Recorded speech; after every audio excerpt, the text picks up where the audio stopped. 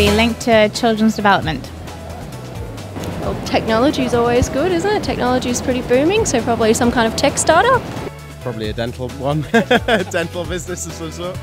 I'd say right now in like Sydney and whatnot, I think burgers and stuff are like actually popping up big, so that'd be like a good one. What kind? Probably something involved with food or fitness and nutrition, that kind of thing. Technology, I think.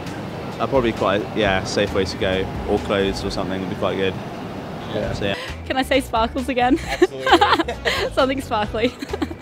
Maybe hotels or something that um, has a target market which is large and will always be required. I want to start my own makeup sort of thing, like my own makeup business sort of thing.